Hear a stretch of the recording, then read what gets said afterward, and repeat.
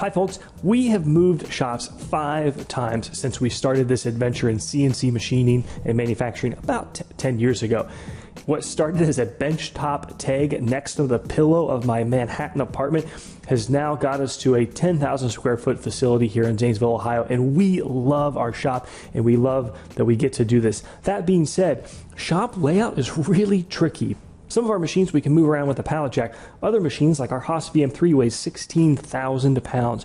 We can move it, but we've got to hire riggers, schedule it, and it's a lot of work. And there's a lot of things to be said about the right way and the wrong way to lay out a shop. So, what's the best way to figure this out? Print your shop. We were excited about this, but we had no idea it was going to be as useful as it's been. We picked up a piece of MDF from Home Depot, we painted it, and we used our laser both to cut out the floor plan but also to include the expansion joints. As a general rule, you don't want to place any machine across an expansion joint because each section of concrete will move separate from the other one. And if you don't believe me, stick an indicator in your machine on a part and drive something like a forklift in front of the machine. You'll see it deflect, you'll see it move. So by having a machine all on one pad, the machine tends to move together. Now there are some exceptions to this with some different machine tool designs and bases and three-point leveling and so forth. But as a general rule, it's at least good to be aware of. We then fired up the 3D printer. You can print these any which way. I honestly thought we were going to use our inexpensive 3D printer, but we've so, we've gotten spoiled with the MarkForged because it's just so reliable and then you've got to get those 3D models. So Tormach is awesome. They make almost all of their machines and parts and accessories available uh, as 3D models. Haas does the same thing. So you go to haascnc.com, download those machines, even the ones you don't own yet. If not, the internet's your friend. Google search or even GrabCAD to find those machines. Worst case, just mock up a quick footprint. Ed went all out on our VM3 and did a quick paint job, and it looks great.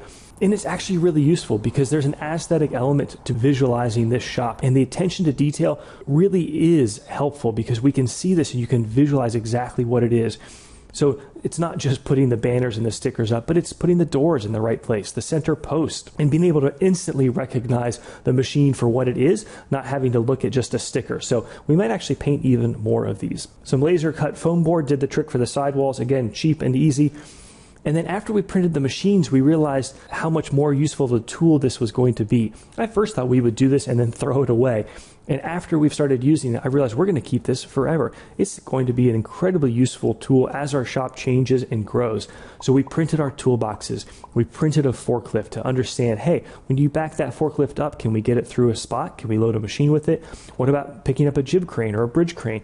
And obviously we need a Judd. So I highly encourage folks consider doing this. It's very inexpensive. Again, if you don't have a 3D printer, it's easier now than ever to get access to one through a makerspace. Just buy one, or you could send the parts out to be 3D printed. Same thing with laser cutting. Lasers are amazing. If you don't have one, just a piece of cardboard and a box cutter will do the trick as well. We printed our shop on a 132nd scale. It's a common modeling scale. It just worked well. It was big enough to get a good visual, but it wasn't so big that it was cumbersome. And I'll tell you, it's surreal. If you crouch down and look through one of the man doors or the roll up doors and you look into the shop, it really looks like the shop. So, folks, hope you learned something. Hope you enjoyed. Take care. See you soon.